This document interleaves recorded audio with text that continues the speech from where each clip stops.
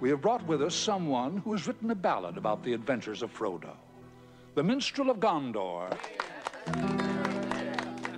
Frodo of the Nine Fingers and the Ring of Doom.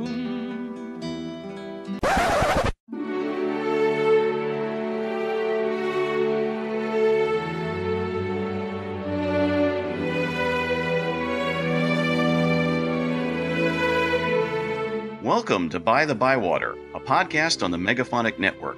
I'm Ned Raggett, I'm Oriana Schwindt. I'm Jared Pekachek. and we're here to talk about all things J.R.R. Tolkien his work, his inspirations and impact, creative interpretations in other media, languages, lore, rip-offs, parodies, anything we think is interesting. Thanks for joining us. Hello and welcome to the 49th episode of By the Bywater. It is great to be back with you, a little quicker than normal this time because we're trying to get ourselves back on the recording schedule sync of things where we do things once a month at the start of the month rather than more the middle.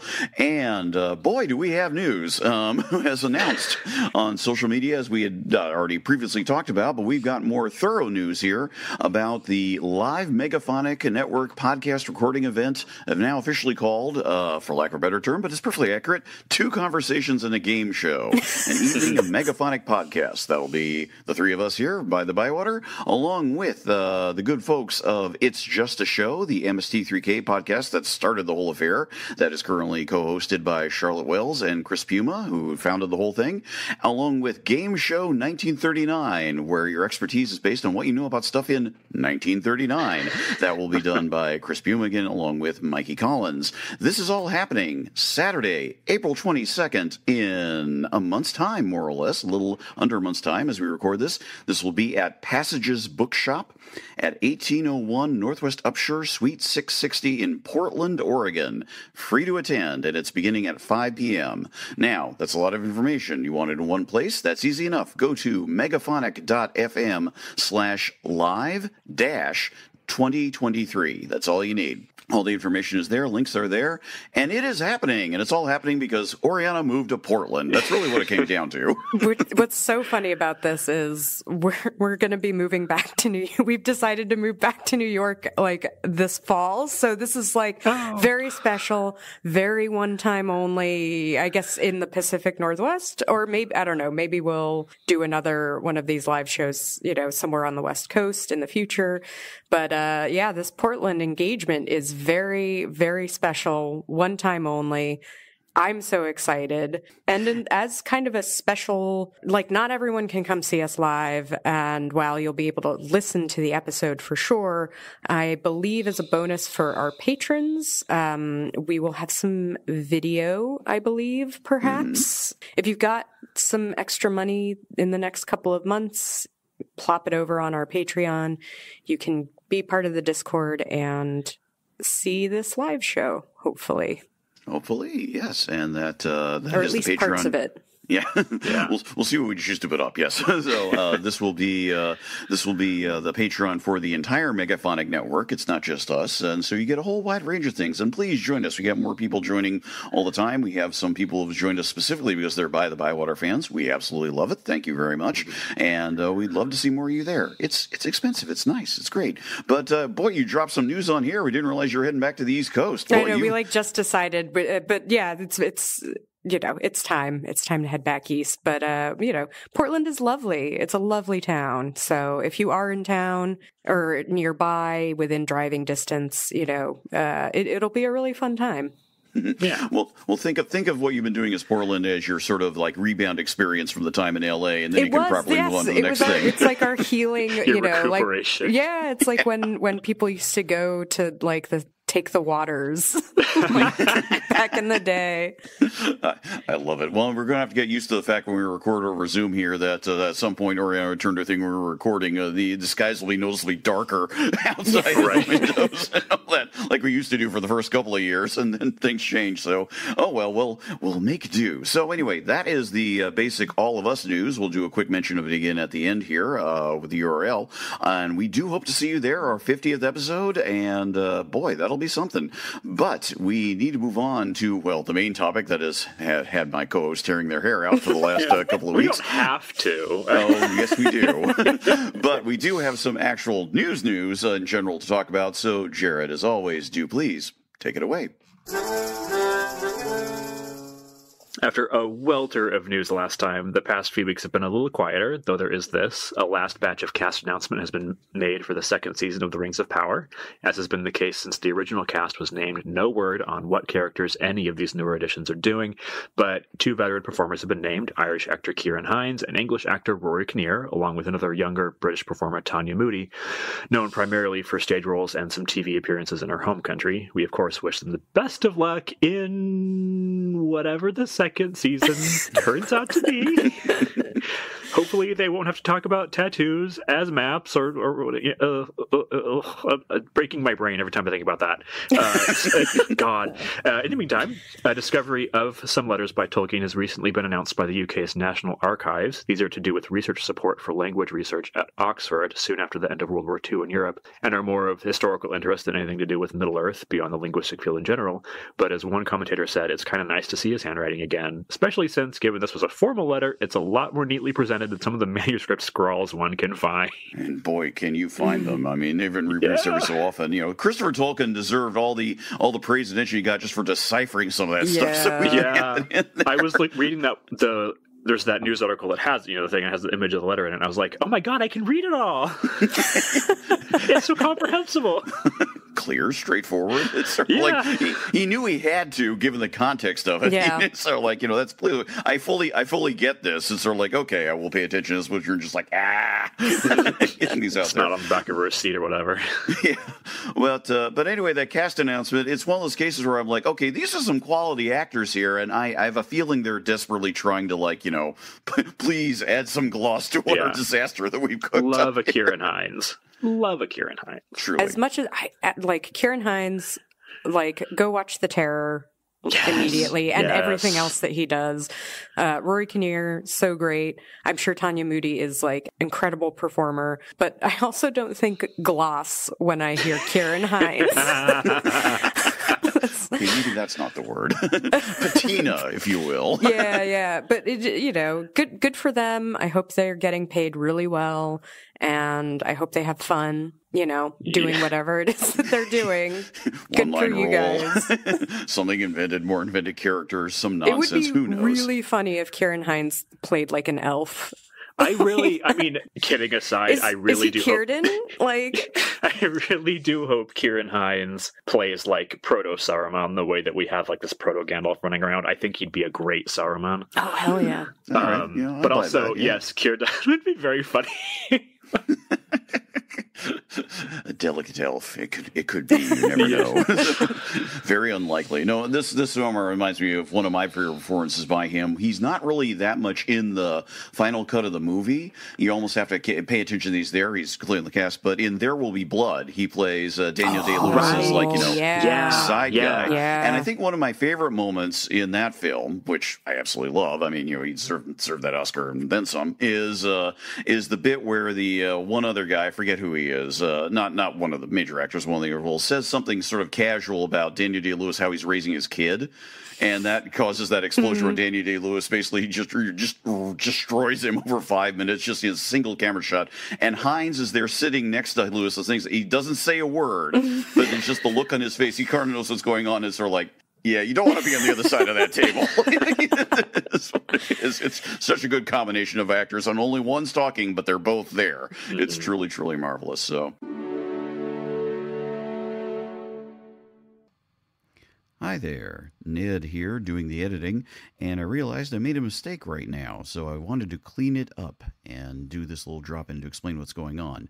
Is that, uh, of course, Ciarán Hinds is, of course, in There Will Be Blood. However, I confused the scene I was thinking of with another scene. Both scenes are great, however. The one I'm describing is more towards the end of the movie, and Kevin J. O'Connor's character is the one who's sitting with Daniel Plainview as he is confronting the guy from Standard Oil who presumed to speak about how to raise his kid. Inadvertently, if you will, but an amazing scene that is. The one with Hinds I'm thinking about is uh, near the start of the movie where it's uh, Daniel Day Lewis and him, and they are talking with Paul Dano as one of his characters, because of course, remember he plays two characters in that movie, has come to let Plainview know about where some oil can be found.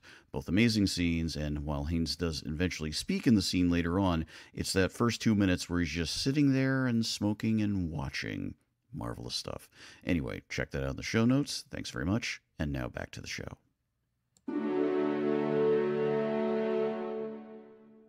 No one, no one told me how funny that movie was. I only saw it like Oh. pretty mm. recently, and you know, forever I thought that it was this kind of really dramatic and serious, and like you know, it is fairly dramatic, but it was so funny. It was I laughed so much, which sounds weird, but but it, it was just really funny, and that's the, you know that's Paul Thomas Anderson.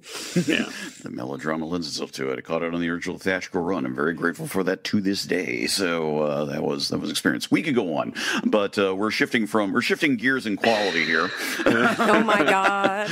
heavily. It's so, easy not to talk about that. Hey, I brought it up. We got to go through it. And this way we can say we've done it. this way we can say Yes, we've done it. yes. And then we can move on to the never let us speak of it again phase because that's what we'll have to do here for our sanity's sake.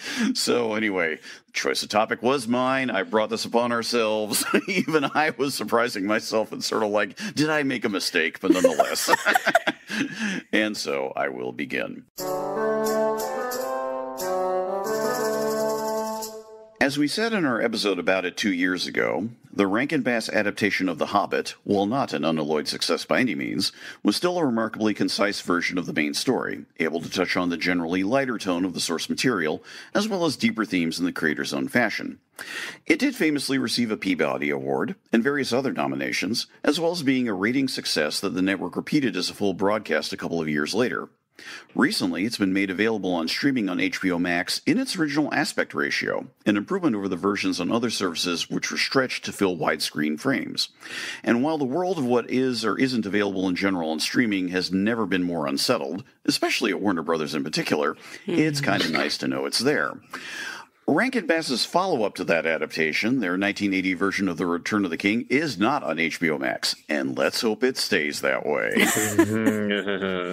it's a little hard to say that of the various adaptations or reworkings of Tolkien's work across all kinds of media, that there's one absolute worst version out there. In terms of the rocks in your head feeling upon finishing it, the American radio adaptation of The Lord of the Rings is my own choice for worst, but the 12 hour commitment necessary for it, combined with it being overshadowed by the far superior BBC radio adaptation a couple of years later, has helped it to simply fall into more of a deserved obscurity over the decades. In contrast, Rankin Bass's Return to the King is akin to something like, say, the Star Wars Holiday Special, something heavily publicized and anticipated following an initial success that turned out to be far more of a disaster than anything else. But at least that holiday special retains a weird fascination all this time, as can be seen in the upcoming documentary on it, A Disturbance in the Force. The likelihood of something equivalent for this Return to the King is pretty low. It should be noted out of the gate that Rankin Bass had long been planning some sort of follow up to their Hobbit adaptation. The John Culhane New York Times piece from late 1977, around the time The Hobbit originally aired, where he interviewed both Rankin and Ralph Bakshi about their forthcoming adaptations, including this quote from Rankin himself. If The Hobbit is a success on television, we will release it to the theaters. Then we will go on to complete our next Tolkien work, which will continue the characters we have established in The Hobbit and will be adapted from The Hobbit and the last book in the Ring trilogy, The Return of the King. At this point, we are scripted, the music is composed and recorded, our backgrounds are painted, the soundtrack is partially completed, and new characters are designed, such as Frodo Baggins. End quote. Now, no theatrical the release of the Rankin Bass production did result, at least in the US, but otherwise things pretty much did progress from there exactly as Rankin described it over the next couple of years. Unsurprisingly, the core creative team on that production remained essentially unchanged throughout the, from that which worked on The Hobbit. Besides the duo of Rankin and Jules Bass itself, Romeo Muller wrote the screenplay and Maury Laws handled the music. Lester Abrams, having created the original character designs for The Hobbit based on separate early work noticed by Rankin, returned once more in that role, while Rankin Bass's Japanese animation partners Topcraft, under the overall supervision of Toru Hara, similarly continued their general work throughout, with no sense that Bakshi's eventual 1978 Lord of the Rings film had caused them to rethink or redo anything on that front. On the casting front, there were a couple of returning performers in key roles John Huston as Gandalf, Theodore, aka Brother Theodore, as Gollum, and in a striking enough dual performance, Orson Bean played both the older Bilbo as well as Frodo. Regulars from the General Rankin Bass voice actor team, such as Don Messick and Paul Frees, as well as deep voice singer Thurl Ravenscroft, also came back, while Glenn Yarbrough, who had provided lead vocals on two key songs used throughout the Hobbit adaptation, here was directly cast as, quote, the minstrel of Gondor, unquote. And we'll have much more to say about him soon enough. Meantime, a newer set of actors joined them, most notably Roddy McDowall as Sam, William Conrad as Denethor, Theodore Bikel as Aragorn, Casey Kasem as Merry, and Nellie Bellflower as Eowyn. As we noted in our episode on the Rankin Bass Hobbit, it's still wildly unclear exactly how it was they were just able to go ahead with this while the formal rights were still with Saul Zaentz, according leading to the Ralph Bakshi film.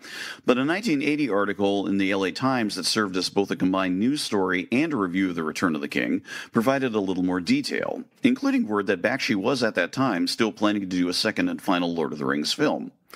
Bakshi has a wonderfully tart quote My life isn't going to be altered by what Rankin Bass chooses to do badly, end quote. Rankin himself is quoted as saying that he liked Bakshi's version himself, but refers to the many adaptations of A Christmas Carol that have been done over the years and says, quote, People take each on their own terms, end quote. All of this came to a head with a lawsuit from both Zaentz and the Tolkien estate to prevent the airing of The Return of the King. But per a quote from one of the Tolkien's estate's lawyers, the suit was settled amicably, as Oriana basically suggested more like profitably, allowing broadcast to take place. If anything, maybe the estate had a hunch about how the adaptation was going to be received. Suffice to say, it was not as notable success, critically and in ratings terms, as their version of The Hobbit. And we'll go into why here soon enough. Now, Rankin Bass continued with their Japanese animation partners and other regulars for a fantasy theatrical feature two years later, a version of Peter Beagle's The Last Unicorn, while The Return of the King itself turned up in syndication every so often, and did get eventual videotape and DVD releases. But as noted, it's not formally stre- on streaming at HBO Max, uh, though it's interesting what you can find if you Google for it in the Internet Archive, shall we say. Link in show notes. In terms of overall legacy, a quote from an interview of Rankin from 2003 by Rankin Bass scholar Rick Goldschmidt may suffice. After a discussion of The Hobbit, which Rankin was clearly still quite proud of, Goldschmidt asked after The Return of the King, leading to this extended answer. We try to do Return of the King, but it is an awful lot to put into it. I think Peter Jackson is having the same problems in his films. You can't deviate from these books, or somebody will wait on the street for you. In The mm-hmm. Return of the King, we had to summarize what had happened before, and then put it all together in two hours. It's not a very good film. End quote. But I'll end on this point at least. As I've mentioned a couple of times over the years on this podcast, The Rankin Bass Hobbit was my introduction to that book and Tolkien in general. Similarly, The Rankin Bass Return of the King, which I did see on its original broadcast, and I also ended up with a truncated single album version of the film's audio track soon after, was my introduction to The Lord of the Rings in general. So that's it's true. Yes. At the age of 9, I arguably had the whole climax of the sweeping story that is that book served up to me as a truly weird, not very successful, choppy, tone-shifting, overly simplistic and overly complicated mess.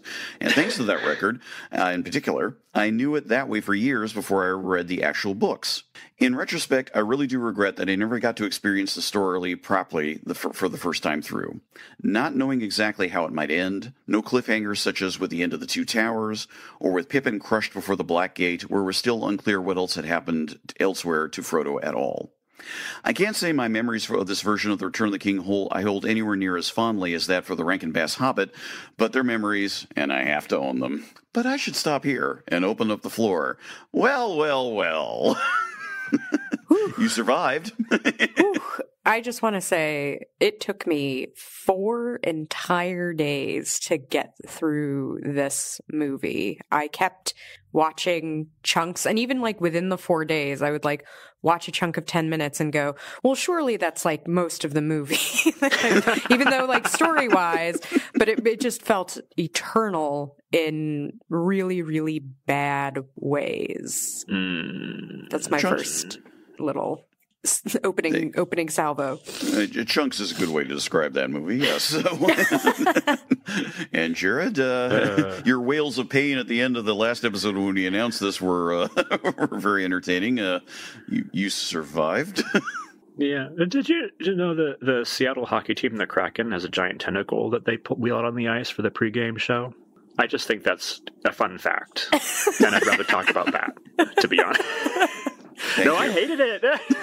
well, you know, it's I did see this before, you know, watching it for for this episode. I like my brother. I got my brother into Lord of the Rings. He's about five and a half years younger than me, and I do remember very distinctly us I don't, I guess we must have gotten our parents to rent it for us because we didn't have cable or anything. So it's not mm-hmm. like it was on TV. So we must have gotten our parents to rent it for us. And I remember watching it and being like, what? I think that was my first, the first time I had come across an adaptation that was really faithful in terms of like dialogue and we've talked about this with the Bakshi version of, mm-hmm, of mm-hmm. Lord of the Rings uh, you know something that can be really faithful in terms of dialogue and kind of the way characters look while still biffing everything mm-hmm. and not working at all although there are some departures here from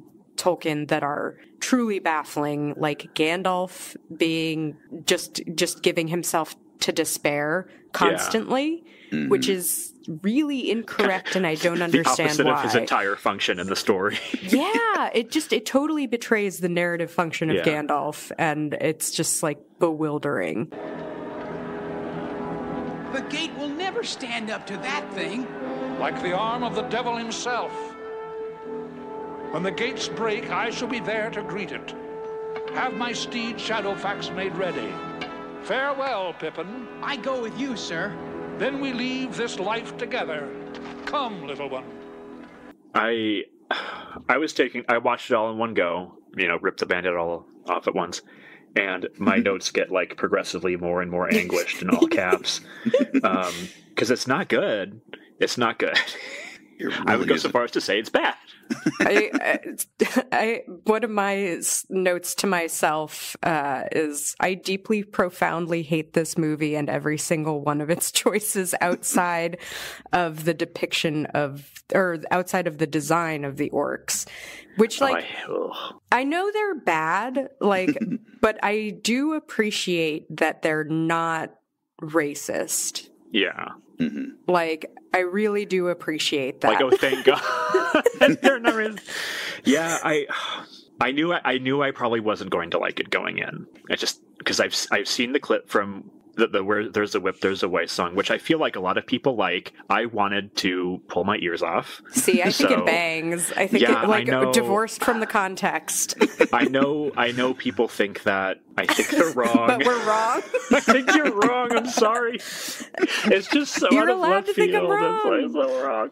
Um, the the pacing, the di- everything Ooh, is everything ooh. is wrong. It's a it's a miracle that they made like two correct choices in the entire thing, and like one of one of those is that Minas Tirith looks really cool. Like that's, yeah. that and the design of the orcs, and I think uh, oh the Black Gate looks good too. Mm-hmm. Yeah, mm-hmm. yeah. But it is the pacing. The pacing is a nightmare. Pacing that makes no sense at all. yeah, there's like Sam and Frodo are at the Tower of Cirith Ungol for half of the movie. Yeah. And they keep leaving and coming back while the Battle of the Pelennor Fields is going on. Mm-hmm. And it mm-hmm. doesn't make any sense. and uh, my favorite, my favorite bit along those lines, and this is something, this is something I should note that I, I really didn't remember. Now, a little more context, I mentioned about how I had the single album uh, re- redaction, if you will, of it uh, on vinyl. Whereas, as I mentioned in the uh, episode we did in The Hobbit, I had a vinyl set that was the entire production of The Hobbit. So I had the audio mm. production of The Hobbit, had the audio elements of it as I could listen to again pre you know widespread videotape days, etc. Things like that. So I knew the whole story of The Hobbit as presented by Rankin Bass through that. It was sort of a case of okay, I've got a sense of it and you know matched up with images. Whereas uh, whereas they didn't do that for the uh, Return of the King. They just did the single mm-hmm. album thing. If there was a larger one, I haven't heard about it, and then, trust me, I haven't bothered to go looking for it on Discogs. So, uh, so for me, it's sort of like there was a lot of um, There's a lot, and the last time I saw this, there was the first time I saw it, actually saw it, and then I saw it again sometime in the mid '90s, and like randomly was on syndication on TV. I'm like, ah, what is it like? And I was like, ooh, huh. that, that was I, I didn't hadn't gone back since. So there was a lot. I knew I knew there was stuff that uh, that I had forgotten about because whereas I got that you know record version again when I was nine, I played it a lot. That's in my brain, but uh, not the entire script. So there, I knew there were elements that were missing. And I, you know, it comes near the end, but it truly sums it all up. Is the fact that we have we have Sam and Frodo get to Mount Doom. Frodo puts the ring on. Then we have things like, and then Sam searched for many days throughout Mount Yeah, Doom, yeah. Yeah, what? just to sync What up everything was And in their timeline. Even worse is Frodo puts the ring on, and then we cut, and then we go away from that storyline for like 25 full Right. minutes. yeah. While, you know, a bunch of stuff happens. I think it goes back to the It goes back to the battle. It goes back to Theoden. It goes back to Eowyn. Yeah, it goes yeah, back to all that. Yeah. and and Eowyn and stuff. That is the climax of the film is Frodo putting on the ring and essentially Yeah. failing in his That's quest. the that's the moment of like, oh no, this is going wrong. Something bad is going to happen now. But then and it just goes and we just we're just left and all of a sudden Eowyn is a character who Mm-hmm. exists because they forgot. I, I'm you know I know they didn't forget, but every the- yeah, every single character is like that though too. Like Aragorn. Aragorn, like, oh right, he's gonna come be the king, and it's like, well, who is that? Like, who's Yeah. Aragorn? You don't know, or like, Denethor gets one scene, and Gandalf just kind of stands there while he kills himself. Like, it's they're just introduced because they're in the book, not Mhm. because they serve any function in the story. Mm-hmm. That's kind of how it Yeah. feels for some of these things. Like, you could take Denethor out, and the movie would be the same. Yeah. Most of this, none of, there's no actual cohesion in Yeah. like the series of events that plays out. And like Yeah. I, that that quote from Rankin where he's like, "Oh, you know, if you like deviate too much from the books, people like beat you up." Uh, Yeah. Is like, I think actually the problem is that you made a bad move. It, it has nothing to do with the fact that it was like, yeah, you botched some stuff, like you know, Gandalf being the uh, n- a negative Nancy, but Yeah. but you know, stuff like that. If if you had made a film that like added to the value of of this work, I think people would be more forgiving of stuff like that. Yeah, I do think pretty much 75% or so of the problems are just the way the screenplay is structured. That's Yeah. literally Or it's not, that it- structured. as yeah, because it's not sort like they they include the the temptation scene with Sam where he's like picturing himself as Samwise the Great, striding across Mordor and like turning it into a garden and all that, and that's fine. But that is a gigantic chunk of the movie for no Yeah. real reason Right. Right. and it's it's not it's important but it's not important enough that you have to include it if there's other things you could be doing with that time like Mhm. aragorn doing anything with aragorn or or whatever and there's the whole like the really bananas prologue where they're like telling bilbo the story of their adventures Yeah. which is like wow kill way to kill any suspense over how this turns out they're all here and we know Yeah. frodo lost a finger It is really bizarre. Yeah, we if you haven't seen it, and we we don't blame you if you haven't, so is that yeah, Jared is exactly right.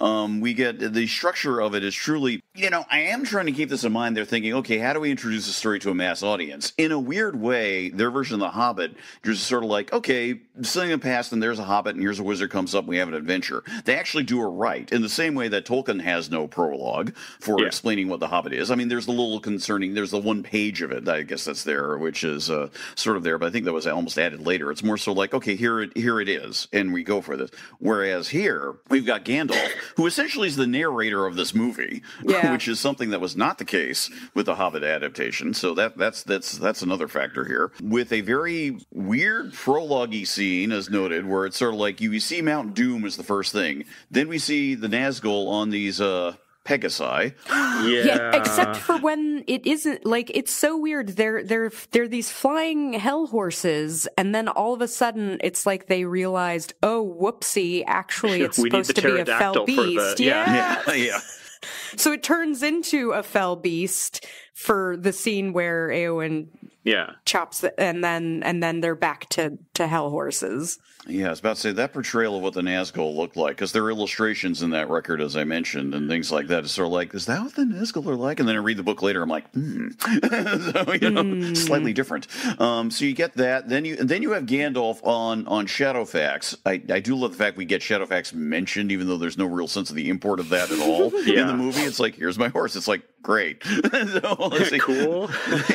Huzzah. So, but uh, we have Gandalf on Shadowfax looking out over at Mount Doom while the Nazgul flying around and basically doing nothing. Now, it's meant to be more an imagistic portrayal of like, you know, opposing forces as opposed to what really happened. But still, it is incredibly confusing.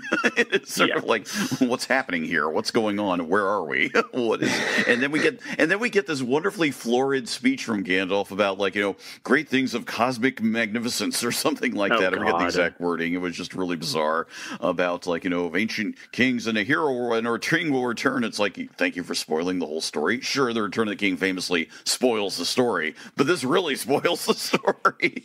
Hear you now, a story of good against evil, an epic that has its beginning and an ending, and ends at a beginning.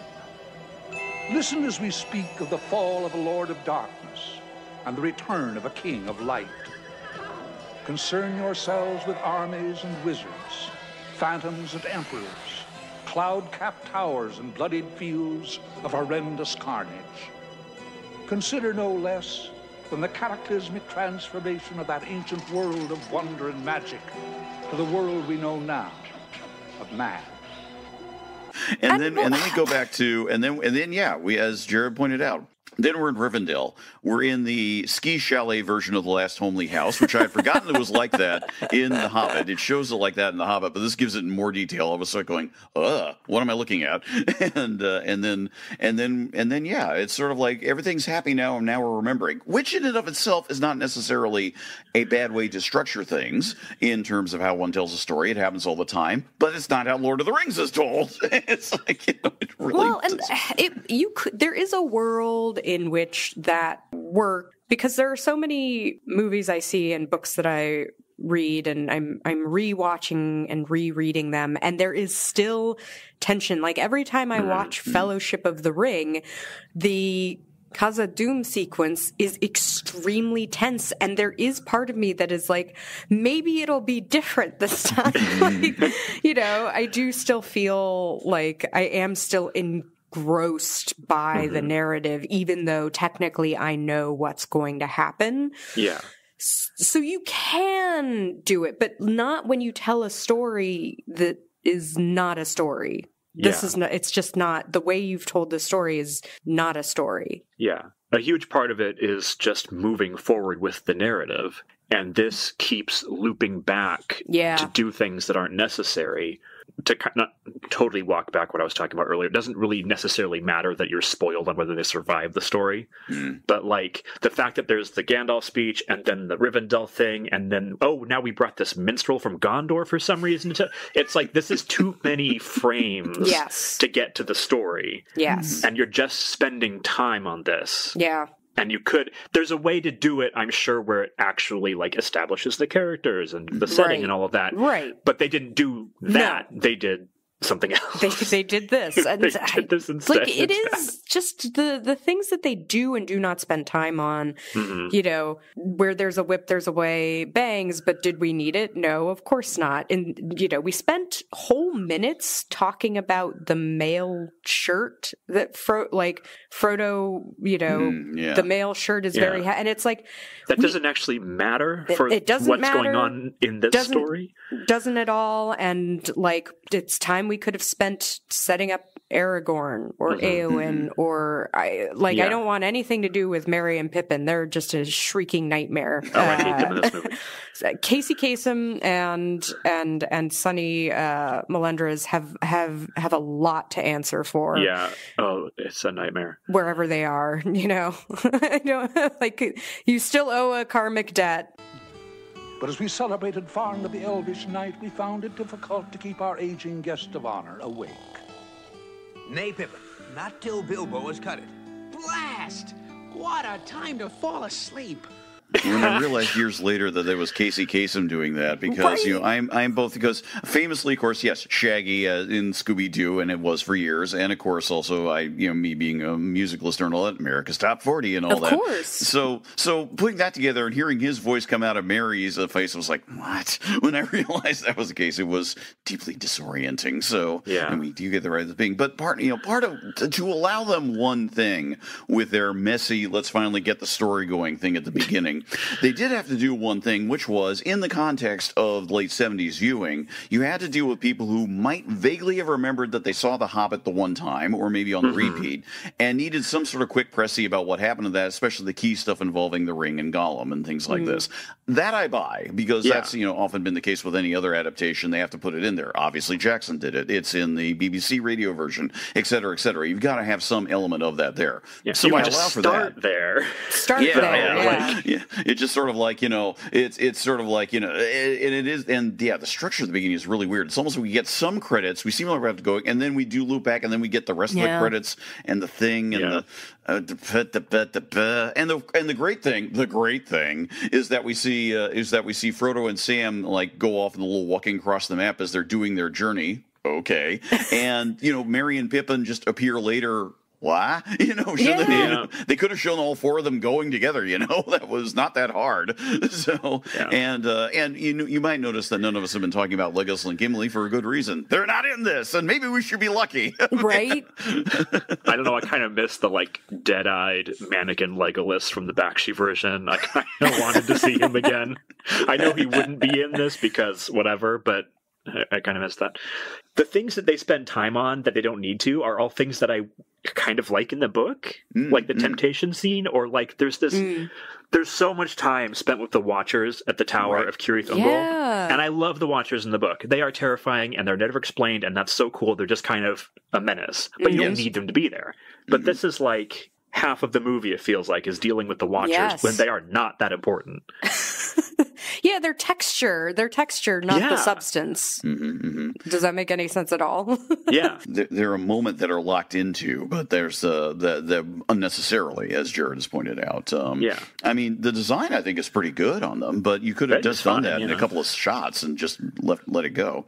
yeah, yeah. Also, everything is mis. Literally everything is mispronounced. Yeah. Everything. Sirith Ungol, I think mm. Gorog Gorogoroth. The, okay, why do they keep co- talking about the Gora Gorath? Because, like, first of all, mispronounced, but also, why? No one cares that it's called the Gorgor. Like, no, stop doing things that no one actually cares about. It it does kind of remind me of some of the stuff that was in the Amazon Lord of the, the Rings show, where it's like, why are you? This is like deep. Like This, this, is not matter. yeah, this is just mm-hmm. you tossing in a name for cred, it feels Yeah. like. And then in this case, mispronouncing it every single time. It's like when you're assigned a paper in, in school and you're and the rules are like you have to cite at least three sources or whatever. so to make up that additional source, you cite like a funny quote rather than an actual like you just have to like, prove the that you read something. Yeah. Yeah, it's just filler. It doesn't actually add anything to the paper. And this is a lot a lot of this movie is like. so much of it. So I mean, there's there there's this weird feeling, and I can see why, especially in the perspective of history, why this movie and why the, both well that and Bakshi's uh, production, why everything is just so convoluted. As as I was reminded of uh, in a quick Wikipedia check, what happened was is that Warner Brothers essentially bought out or got the rights after Rankin Bass, the company, you know, essentially uh, wrapped up or collapsed or folded, or whatever happened in '87. So they got the rights to it. That therefore meant that they had the rights to essentially all three Tolkien animated films of the late 70s, which they proceeded to put together and almost be like, uh, it's like a trilogy and like later packaging re-releases, which is not really the case, of course. and uh, but what what happens is is that because of the weird nature of everything was done, how sort of like how back Bakshi could only take it up to a certain point and couldn't do it any further. So we're still on our way to Shelob, but we never see mm-hmm. Shelob. Mm. And then here, what they decided to do is, and this is the part that still confuses me, among the many things confusing me about what they chose to do with rights and where to start and everything like that, is that it, it seems like they they my sense of it from some of those Rankin quotes and some of the other things going on is that they thought that they were trying to do the one I didn't I didn't quote this another thing from that interview in 2003 quoted is that when, Goldschmidt asked him why didn't you just try and adapt the whole thing? If your argument was you have the rights to the whole thing why didn't you try and do that? And Rankin's response is well we didn't think the audience would sit still for it we were wrong. So mm-hmm. okay, and you know, and therefore that leaves the Bakshi film, which again is in its own universe, and can say like, hey, we have actual rights here, you know, to go mm-hmm. ahead and do its plan, even though it was had its own issues with execution. Blah blah blah. I bring all this up. The weird feeling here, though, is that it almost feels like there was a hard carve out on Rankin Bass's part to say like, okay, we will do the Return of the King. We'll start exactly here, and we won't mm-hmm. even reference anything before it in the first two books, which is so weird. So you get Yeah. things like you see Frodo and then Sam going through these tunnels around and go, gee, there's some big spider webs around. Wonder Yeah. what they're from, you know? Mm-hmm. no sense in them at all. And then, of course, we have the great moment, speaking of the Watchers, where it's like, oh, I've got this phial here. Okay, one, you're a kid. You don't. It's like, isn't a file something you use for your nails? You know, if you don't know what that is, you only hear that. I'm sorry. And then, two, when it finally is revealed, it's the phial of Galadriel. Galadriel, not Galadriel. and, then, and then when Sam wants to know more about it, uh, I can't explain or its power would fall apart. I also have found Sting. Might I keep it with me a little longer? See, I have the strength to use it, and, and you, with your wound and all, Yes. Yes, of course, dear Sam. and your cloak, which I wear. In a pocket, I found this. It has powers. It got me past the Watchers. What is it? The phial of Gladriel. I can say no more. But if I betray the trust and give the secret, its powers will die. I understand. Right? Right. That was insane to me. I was like, why did you even bring this up if you're just like it can just be a magic thing.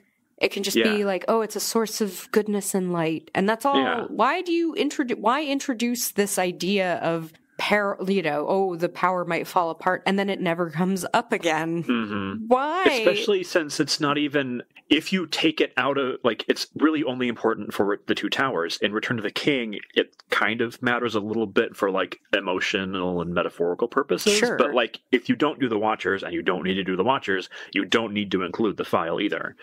So you're making such a big deal out of it when it doesn't it doesn't matter for the story that you're trying to tell, Mhm. or uh, maybe not even trying. Uh, honestly, like minimal effort put into the storytelling here. They put an, you know, it looked like an Instagram, like the first Instagram filter. Uh, It really although- does all sorts of things swirling around. Just and a it does collision put me of in lens mind. flares. and it does put me in mind of Jackson's, uh, you know, Jackson's verse scene where I know they. My understanding is they did actually film more with the Watchers for that. Um, Mm-hmm. you but can they see basically, them in yeah. yeah, you, but you see them, and wisely, what happens is is that they basically realized, you know. And as Jared was pointing out, its impact is more in Two Tower stuff, which, given the bleed over in the films, that moment where, you know, it, it lights things up and the connections there happens in with Shelob as it does in the story there. We get that in the film, however, slightly differently handled. And so the point is, yeah, you don't need it anymore by the time Sam comes to it. So basically, it's just one of those things that's sort of creepy, and you basically, the cut allows you to see Sam has gone through the gate, and that's all you need. You don't mm-hmm. need anything else. Here, you don't mm-hmm. get that. Nope. You Not get at all. so much So- of it. Ugh. And Way more than you ever thought possible, given the role in the story. I mean, let's let's okay, let's let's maybe sort of shift uh, a touch into some of the casting uh, a bit, but we can throw another context too, because a lot of the scene is basically we get a lot of Sam. We get a lot of Roddy McDowall as Sam. We get him first of all, essentially, once we get into the retelling of the story in heavy, heavy amounts. And of course, the bizarre scene where he somehow finds the ring just next to the gate. Yeah, yeah, sure. Like, why wouldn't you? Why wouldn't it just be there?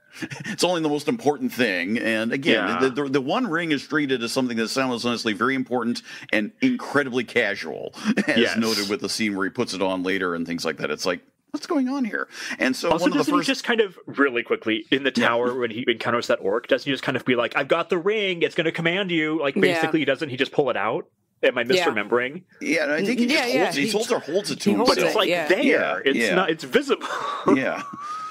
anyway, And go on. And then no, and then one of the first things we get is we after we get a sequence where we see where we see Sam animated throwing himself at a gate like three or four times Oh in my a row god, and that falling drove over. me crazy. It's just like Just like bam. okay, if you're making Sam Bam. seem like an idiot, well done. But you didn't need to demonstrate that, I guess, and you didn't need to make Sam so poor Sam. He's so ill served over many of these Yeah. adaptations. Yeah. really is. Thank thank goodness Sean Astin. Please, thank you. You gave him the dignity he needed. Um, so Bill Nighy too in the BBC, but we'll get to that. Um, to also the first thing he says, we discovers again the ring sitting by the side of the road. and he, and his first line is, "You, I can feel you throbbing with excitement." And I'm like, "This is not helping. this is not helping at all." You cannot die, Master Frodo! I'll get to you somehow! Ah! You,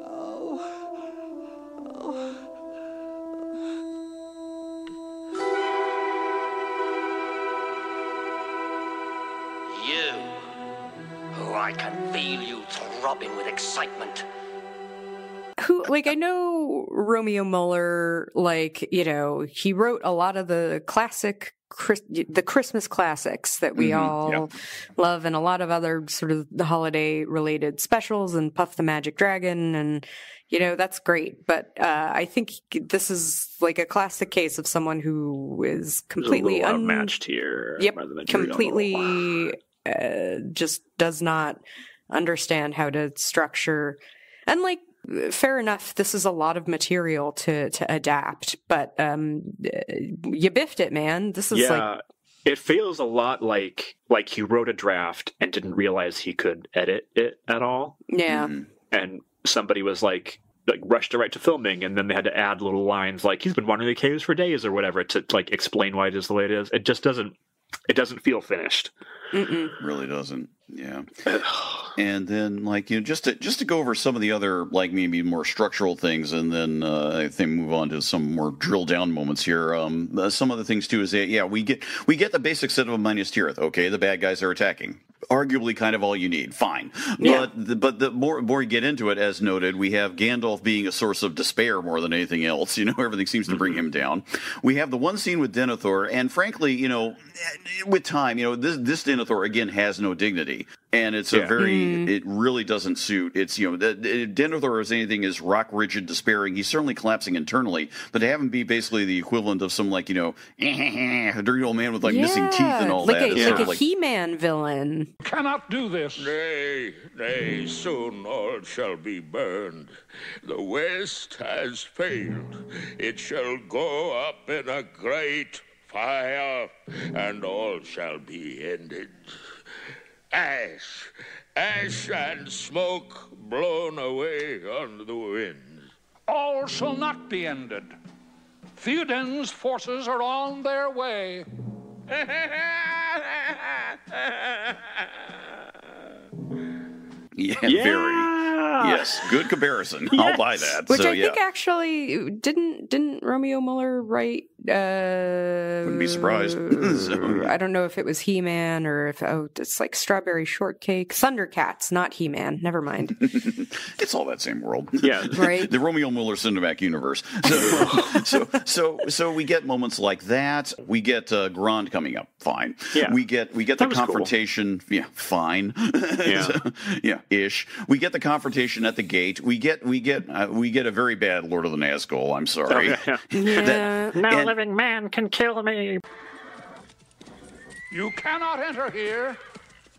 Go back to the abyss prepared for you. Go back. Fall to the nothingness that awaits you and your master. Go.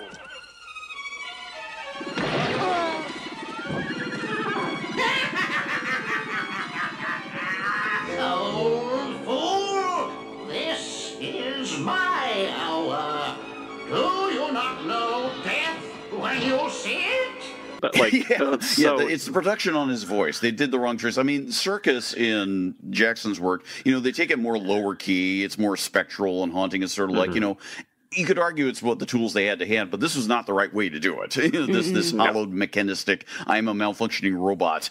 Yeah. you know, in Lord of the Nazgul doesn't work. Theoden is just there. Eowyn is just there. We have no idea of any of their backstories. We have no idea why it's important at all. Nope. Eowyn is uh, design wise, interestingly, is as close to an anime heroine as is, Yeah. is shown in anything. You do see a lot more of, dare I say, and it was already present in The Hobbit, certainly, but you get a lot of the Japanese animated influence throughout mm-hmm. this entire thing, which is not in and of itself bad. So you get that. Aragorn is a non-entity. He's just the guy who's wandering somewhere with a company who then shows up on the boat, and now he's the king. There's nothing Yeah. more to it. There's zero else. He just simply is. It's like thanks, you know, and he just seems to be we slightly got a sort king. Cool. Hooray! Yeah, it's as, Wow. you I know, have a beard. like I'm crusty. You know, it- you it- have it- to it's- you have to explain to us why it matters that this guy is a king now. Like, no, we have to spend five minutes on Frodo trying on a mail shirt and carrying it around and finding it too heavy. Yeah. Jesus. Any context for Aragorn would be appreciated at all. And if I remember correctly, I don't think Denethor even brings it up. No, he doesn't. He's like he's like, here's the you know the fleet with black sails, you're all doomed, all that, but he he never goes like he never says this would be the perfect opportunity Mm-hmm. to learn about the history of Gondor, like why it's an issue that they don't have a king, that kind of thing. But no, he's just there because the script calls for Denethor to appear. right, And it, and then to go away. yeah, and then go like literally. I, I can't emphasize enough how bananas it is that he's like, "I'm going to kill myself," and Gandalf is just like, "Cool, uh, okay. go Or, ahead." or, like or, or you get the one bit with Pippin talking to the guard. You must stop him. His word is law. Yeah. Thanks, buddy. Great. well done. Why am I here? Why am I helping you people? There's nothing below any of the line readings. There's no actual emotion beneath mm-hmm. any of this. And it's mm-hmm. just so infuriating. Everybody is very much there just to get a paycheck, yeah. Except much. for Yeah. the background painters. Yeah, well, more more to say about that in a bit for sure. So, but yeah, no, I mean, other things, other things. We find out that Merry has been dispatched to go get to Theoden and bring him along, which is like, uh, okay, sure. And I again, don't mind that. I just I don't, not necessarily either. Yeah, Yeah, but it's like land correctly, but I don't mind really, it. really doesn't. Um, you know, the action scenes we get a whole lot of like you know climbing up and falling off the battlements and things Yeah. like that. You know, things repeated shots over and over again. I understand that for budget reasons, but still, um, it's all yeah. I know it, it, it's just it's just a weird thing. Let's delve into a real problem here now. Talking about some of the casting. So here's something here's something we didn't talk about in our Rankin Bass Hobbit episode, and even though he's very ill used here, a little shine because we early talked we talked about Orson Bean a fair amount, and some others. We did not talk about John Huston as Gandalf. I actually don't like him as Gandalf. Okay, which is I'm fair. so yeah, well, what what doesn't work for you and all that? So I'm I'm neutral on him. I, I guess uh, a lot of it is the characterization bleeding over into the performance, but I find him so stiff. Yeah, uh, he just too seem- stiff for me. He's just too stiff Yeah. for me, Mm-hmm. and that's Yeah. probably not John Huston's fault. Like that's probably just the character is bad, so didn't Yeah. really have much to work with. But there's no warmth, there's no Mm-hmm. spark, there's no joy. It's just I am Gandalf. You know. Yeah, he comes It's not across as extremely detached from what's going on. yeah. Mm-hmm, Like he's just kind of observing it, and that's it. Uh, but yeah, that the warmth is missing. I like John Huston and other things. Yeah, I actually uh, his his Gandalf in the Hobbit is not bad. I didn't have these feelings about him in the Hobbit. I guess because he gets to be kind of a bit sort of sharper in a fun way when he's like, I can't be bothering with you people Yeah, anymore. yeah, I have other yeah. things to do, and it's fun. But here, it's like, no, this is like a very serious situation, and you're supposed to be the warm light that these people like Yeah. f- flock to. or even like encouraging in a kind of like like oh my god get your life together kind of way Mm-hmm. but he's not he's just kind of like oh he's dead okay Yeah. guess I'd better sit here like that's that's the Gandalf. Yeah, and uh, you know Orson Bean as Frodo is doing the best he can. Uh, Yeah, he he yeah. worked better with Bilbo, I think, in The Hobbit. He captured Bilbo pretty well, I thought, uh, in that in that, that version of it in in The Hobbit. Here is Frodo, he's trying. Mm-hmm. But he's sort of let down by everything around him. I guess is the best way to put it. So you yeah, know, I think that the like key here is one of Frodo's most the most bestest lines is, you know, I'm glad you're here with me at the end of all things. And that line is said while Frodo and Sam are running. hmm But of course, like, Orson Bean's voice is not out of breath or ragged. And like, that's the wrong choice anyway. They can't be running. Like, that's weird. It's no use. The lava will have us. I'm glad you are with me here at the end of all things, Sam. And you with me, Master. Oh, but I don't want to give up yet. It's, it's not like me somehow, if you understand. Maybe not, Sam, but it's like things are in the world. Hopes fail, an end comes. It all sounds like a table read to me. Yeah. Yep. Like Yep. everything. Even I don't even Orson being in the Hobbit. I felt like I maybe I'm the minority here, but like especially here though, he Mhm. he just sounds like he's like, okay, here's my line. Now I got to wait for Roddy McDowall to flip to the page Yeah. and say his line, and now I'm going to say my line. And there's no, like they had the the the voice recording studio for a day, and that's it. Like they couldn't go redo anything. It's just And there was no one directing them, it sounds like. yeah, there's no Mm-hmm. sense that this is actually that any of these are a performance. Mhm, They're just kind of people reading lines. Theodore as Gollum is nice to have back Oh and all yes, that. no, Oh, because- he's good. Yeah, yeah, no, yeah, I yeah. was the second he came back, I was like, oh, thank God, some character. because of the way that that wonderful, yeah, that, again, that uh, as you described, uh, Jared, we talked about him in The Hobbit, the sense that he maybe hadn't spoken for like a thousand years when you first hear Yeah, his oh, I voice, and loved him so much. and now he's just sort of like you know, it's it's it's a pity the design essentially hasn't changed because uh, you know, a Gollum was like that design, but even more racked and like you know, just you know, just still Yeah. like you know, he's say- still like plump, which is weird. He's supposed Yeah, to yeah. have been Yeah, kind he's of got some starving meat for the on his last hundred years. Yeah. he looks like a frog. It's I don't know. yeah, it is is out there. But yeah, no, Theodore Theodore delivers. I mean, he delivers the the line. He I always thought his diversion delivery, which again we don't get this in the Jackson film, the die into the dust Yes. sequence and all yes, that. You know, I thought was Yes. good. Gollum. Gollum. I love Gollum. Gollum. Lost. Lost. We are lost. And when Precious goes, we'll die. Yes, all of us die into the dust. Die into the dust. you know it's it sells that moment very very well you know just sort of uh, because he just you know he's he sees more clearly maybe than even Frodo and Sam do at this point what exactly is going to happen no matter what happens. And that's the power of it in the book. And here the Theodore does a very good version of doing that and some other elements along the way. Um, so credit to him. Yeah the, Theodore Bikel is Aragorn nothing. So, Yeah, uh, but I forgot he even spoke. Honestly, I, I I was afraid they were going to not have him speak at all because it just we were like three quarters of the way through the movie. It felt like, and he hadn't arrived or spoken, or I was like, oh, are they not going to have the king in the Return of the King?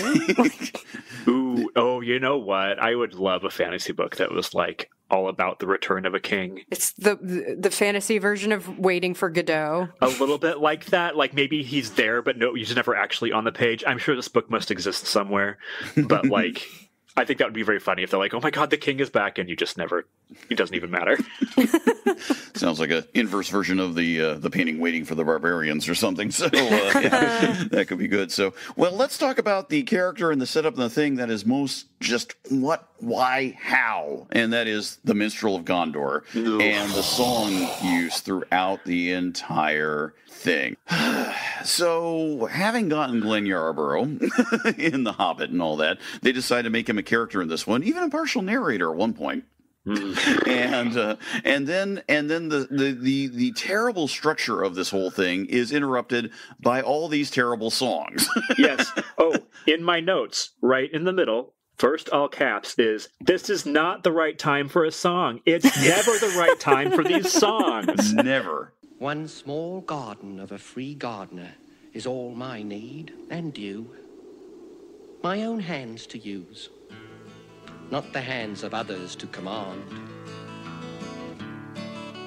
Less can be more, and small can be beautiful, for life isn't all just big and wonderful. What do I need when you get right down to it? They're all awful. So what's so interesting to me about this choice is that it's one of those where in theory it does feel very Tolkienian Yeah, in a we way. talked about the musicality of Tolkien. I think in the Hobbit Yeah. episode, where it's like it's not inherently a bad idea to have all No. these songs. Yeah, yeah, yeah. Absolutely. Like, yeah. Oh, it's, you know, again, in theory, I like the Mm-hmm. idea of like, oh, it's like we're Hobbit kids or something, Mm-hmm. like Yeah. being told, you know, being regaled by a, a minstrel or a bard or whatever. And okay, okay. But then the execution is just horrendous. He's some kind of like horrible subpar D and D fop who just shows up, and I love a fop. I don't love this one. I think we have our episode title. we might well.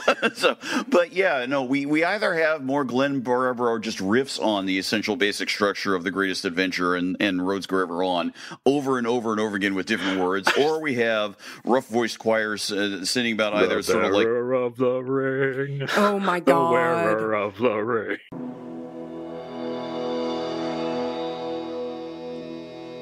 Staring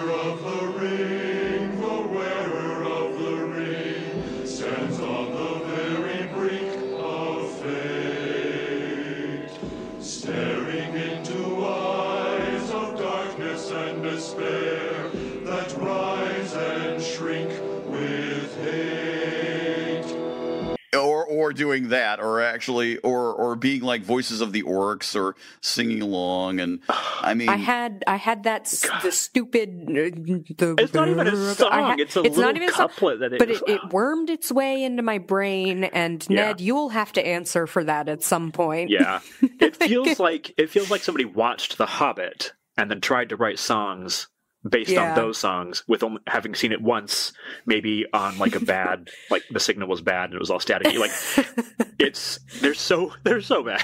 and Jules Bass is the one who wrote the lyrics, so blame him for that. Blame one Oh, of the I two do. main guys. I so- do. yeah, let's let's ladle on the blame. And part of the real problem is this too. Um, they, for the most part, there's an obvious huge exception. For the most part, they stick with the model of what they did in The Hobbit, where the songs are not are not diegetic. In other words, no characters are singing them for the most part. They're off screen, which is actually one of the wiser things they did in The Hobbit, I thought, and actually and lets it lets it add color to it.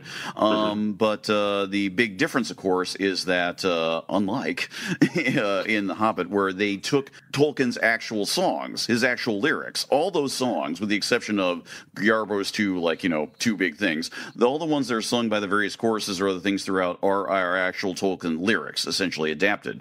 None of that is the case here. None of it is all originals, and they all fail. and that's a, that it really it, it's a big disconnect. And so you get things like you know, retreat, retreat from the, from the Oh Towers of the Thief song, and uh, you know, and uh, and then yeah, the end of the ring, the end of the ring, the return of the king, and all that other stuff. And I'm sorry, I just keep making really pained horse noises. I'm so sorry.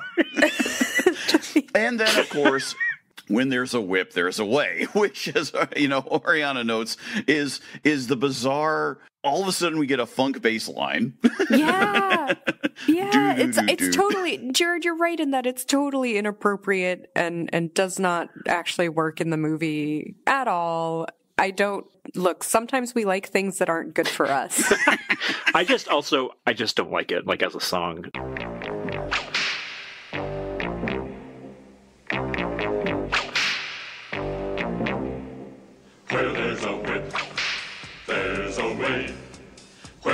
A whip, there's a way.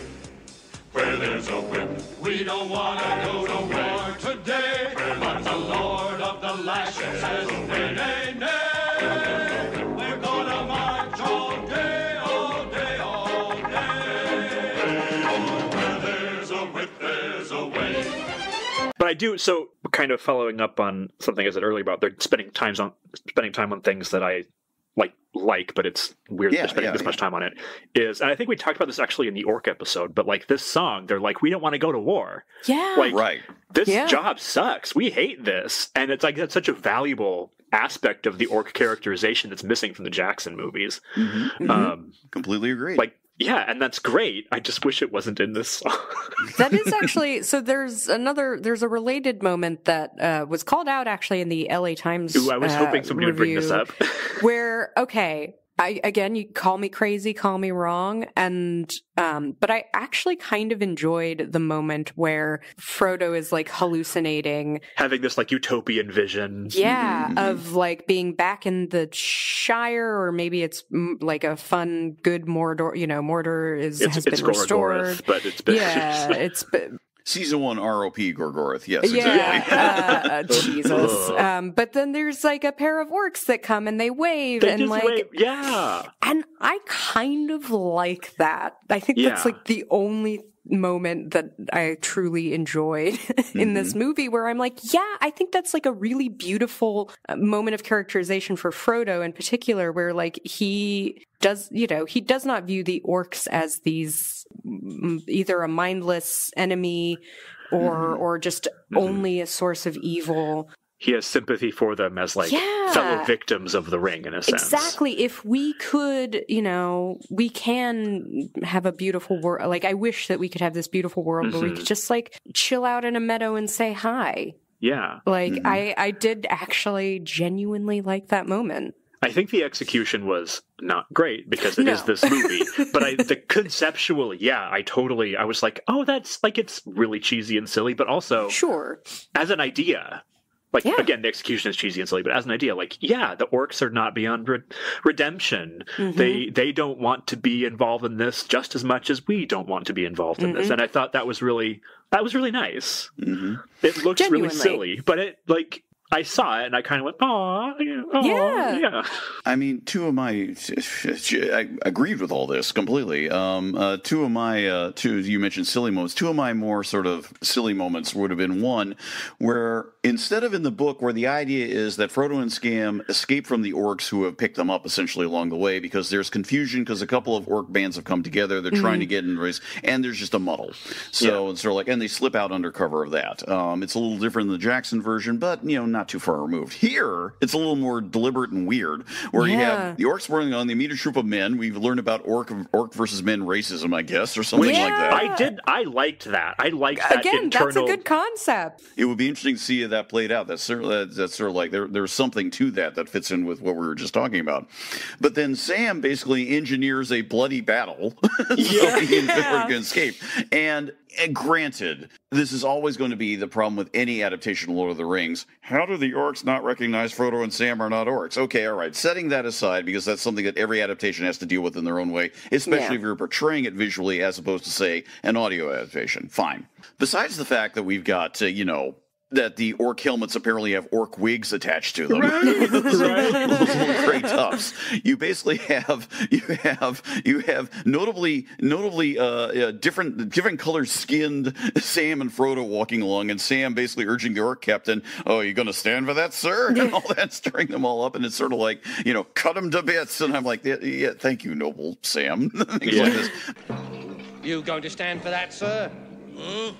Get back in line.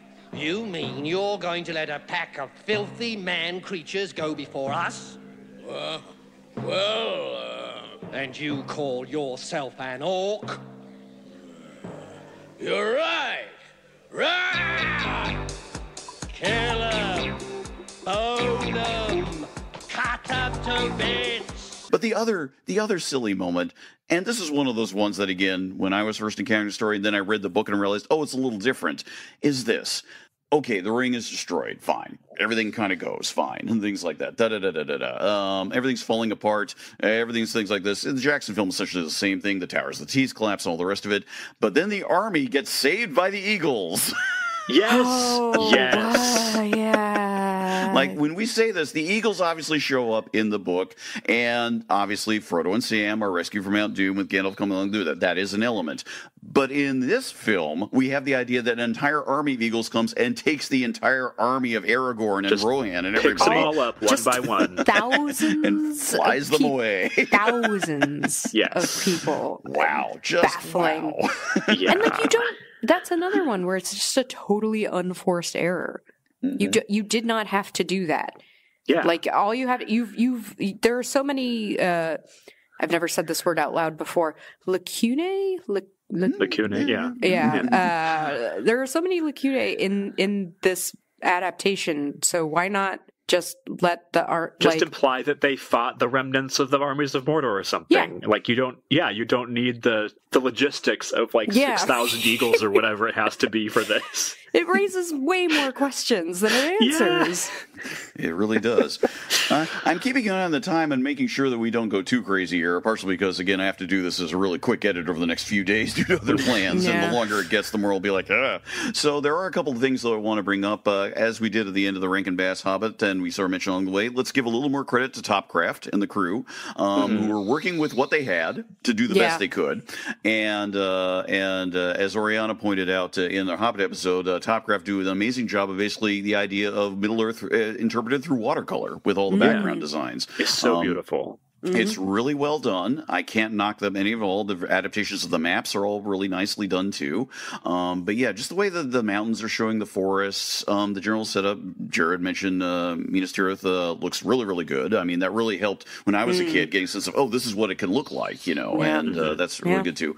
I still think the Cirith Ungol interpretation holds up. It's actually more accurate to the book than in the Jackson version, where it stands out more on a promontory in that version. Whereas here, it's more meant to be sort of like the three layers up against a up, up against things. It's like a split level house, kind of. Yeah, yeah, and uh, all that. Uh, Tower's teeth are good. The Barad-dûr is interesting. I didn't buy that. I, ugh. yeah. It just looks like a fairy tale castle. It's like evil Sleeping Beauty, and I don't think that that's the right choice. Yeah. Yeah, yeah, no, it's like a cousin of I can't pronounce it. The famous one in, s- in south of Germany, uh, Bavaria Neuschwanstein or whatever it is. Neuschwanstein. Yeah, yeah. So that it's sort of like a l- elaborate version of that with taller towers and things like that. So it had that same sort of yeah fairy tale esque approach. It's sort of like this is you know in retrospect, it's like this is not really where Sauron dwelt. Now, what about Sauron's interpretation himself of the flaming eye? I liked that. That was Yeah. interesting. I did like that. Yeah, I, it was. I liked the that it was abstract enough to be Mm-hmm. just kind of ominous and like, oh, I get that it's an eye. It's kind of freaky. It's kind of it's interrupting the visuals in a really like in a really cool way. Like it, it kind of it's oppressive in the way it just like bursts in and is like ah flames or whatever. And I like it a lot more than the version of Sauron in the Jackson movies, which is for, to me is a cool visual for one shot. Like the first time you see it, it's like, oh my god, it's the eye. But then it's diminishing returns and it gets more and more cartoony, especially when it starts like making expressions at the top of the tower. But having this just be like this orb, this flaming orb that is the eye of Sauron was such a cool abstract way of conveying his presence without having to actually show the the eye. Yeah. And I also like there's a there's they also like the fact that uh, you know in as much as he's shown as being anywhere, he's not actually shown as being in Barad-dûr. It's more like this Yeah. thing sort of floating behind Barad-dûr, which is weird on the one hand, but on the other hand, kind of works. It is the sort of spectral presence. So yeah, it is. uh, I would say it's needlessly confusing, but it is Hmm. a lot better than having him just show up and be some guy with a big red eye or something like that. Which I was afraid was going to happen. I was so sure that they were going to see him and he was just going to be like some guy in black armor, Yeah. yeah, like the or, Nazgul, but maybe taller or with an even shriekier voice. I don't know. or like an evil version of Billy Crystal's character from Monsters Inc. with a one eye. you know, things like that. So, uh, but there it is. Yeah, it and oh, the ending. We at least have to let's let's wrap up with the ending because the Hmm. Ending is really bizarre. We get the Grey Havens. Mm, Not too bad and things like this. It's the lead up to it that is the part that basically has you banging your head against the wall, um, because you get you get the idea that uh, okay, revelation that everyone's going. The uh, Elrond's going to go off to the west to get moisturized because he really looks like he needs it at this point. Oh, he's so tragic looking. and uh, and then so the idea is that sort of you could almost argue that the farewell scene in the book, the proper sense of farewells, is uh, happens here in Rivendell. Uh, okay, fine, even though the characters, you know, whatever.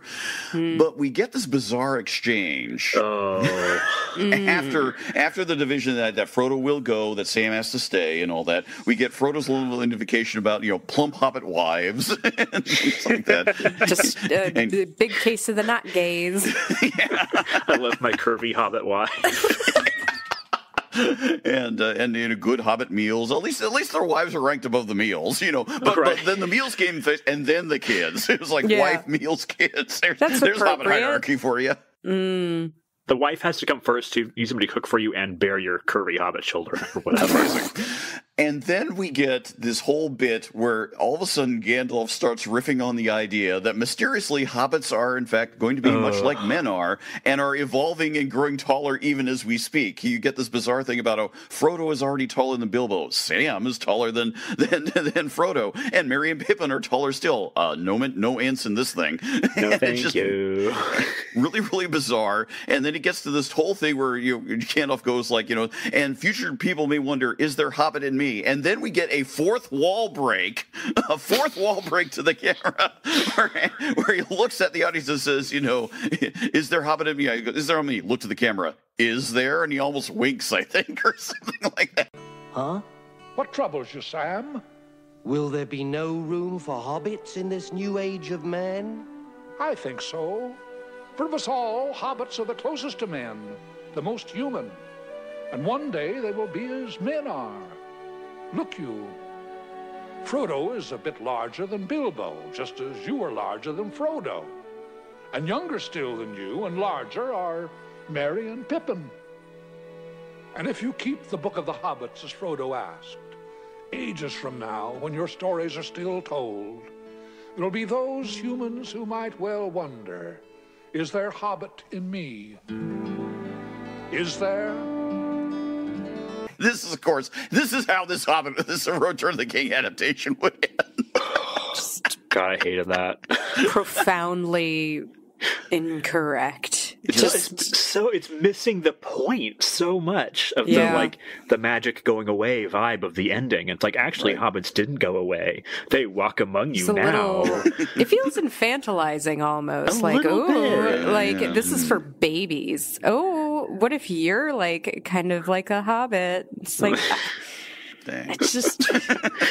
yeah, it it does feel as though this is like they they forgot to update their mindset in terms of like who is this for, Right. and they were like, yeah, like it's still for babies. It's it feels fantasy, kind of so still it's for babies. Yeah. Yeah, at least the Bakshi one was like not for babies. No, definitely. like clearly not. And this one was like fun for the whole family. And like, really, really Yeah. is. Yeah. Hmm. Boy, well, excuse me. I think we vented enough. well, what's funny, like, there's not that much venting to do because it's so insubstantial overall. True. Yeah. True. There's not yeah. much to dig into. we can nitpick a lot and Yeah. talk about all the things that are like just don't It's work. not like the book or whatever, but mm-hmm. yeah, or that don't work. But but overall, it was like there's so much less here to really get into than there was in like the freaking Silver Call duology. Mm-hmm. Like, Oh, like that was a nightmare, but there was a lot that was really instructive about it. Right. Yeah. Yes. And yes. this is not that. This is just sort of it's it it doesn't succeed well enough where it does succeed to actually make you care about the choices made elsewhere. It's more sort of like here's this mound of rotting blah, and here's there's a flower growing out of it, but that's about it. You And it's not even a really cool flower, you know. It's like, Yeah, yeah. It just It's a sort of dandelion. yeah. Yeah, exactly. It's like thanks. So it it it it, it has no legacy unless you count that song. it is just there. It is a weird weird thing. It uh, it pretty much ended that cycle of adapting in the English language, trying to do it animated style. There's been nothing else like it since that I can think of until we get next year. We do get the actual Yeah. anime version uh, with the War of the Rohirrim. So in a weird way, we are returning back to Japanese animation, only this time much more consciously and much more in the vein that it's an actual Japanese creator working it down the line, if off a script, of course, being developed by uh, Philippa Boyens and her kid, and however that's being worked out. But the point is, we'll be getting a uh, new adaptation in animation form of uh, of uh, Tolkien here coming up soon enough, and uh, let's see what's changed. I think a lot will have changed for the better. Here's hoping. We don't know how the story will land, of course. You know that'll be its own issue. We'll cross our fingers on that one. But uh, until then, uh, thank you, Rankin and Bass. You you existed and you did this, and uh, that's all I really have to say. I think we'll wrap up on that one.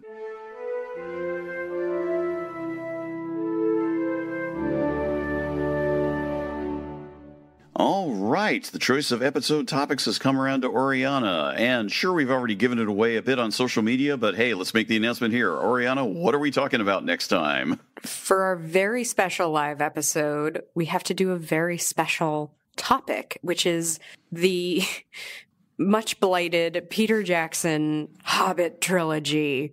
Big Hans Zimmer, like. Yeah.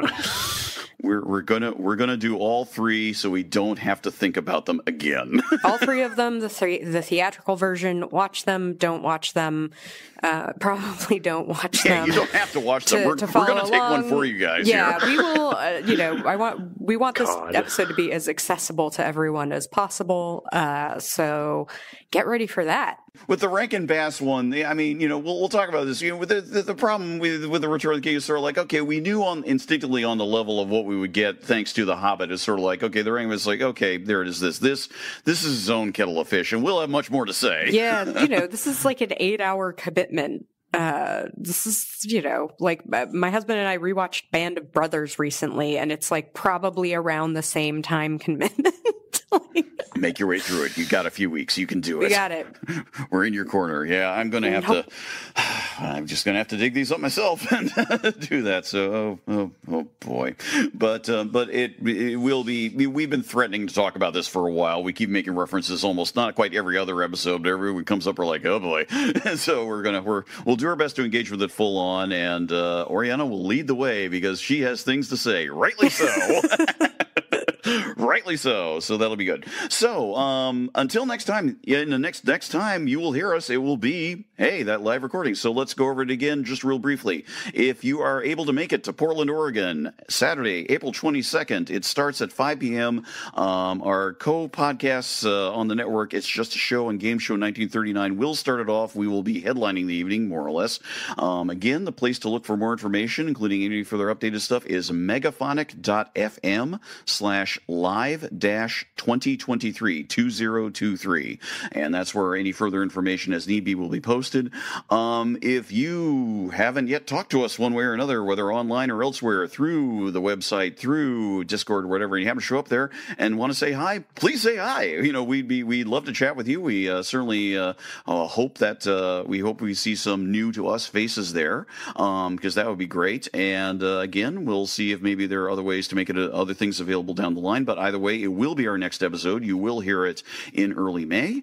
Um, but that'll happen as it does. You'll hear this in the meantime and you have plenty of time to get ready. So thank you again for listening. We absolutely appreciate it. We we can't believe we've come this far but we're very glad we've come this far and we look forward to our 50th episode and more beyond with that. Um, thank you for joining us as always. Uh, episodes uh, notes and things like this included as always in our usual post. Ways to contact us through our webpage megaphonic.fm slash uh, by the bywater. Um, and how to contact us on social media and elsewhere is there too. Until next time we hope to see you in a month's time and we hope to hear from you after you hear us in a month's time if you weren't able to make it. Either way until then